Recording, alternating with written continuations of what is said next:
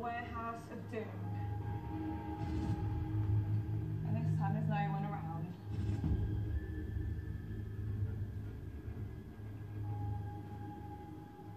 All solid objects have a centre of gravity. By moving an object's centre of gravity, we can give it death-defying properties.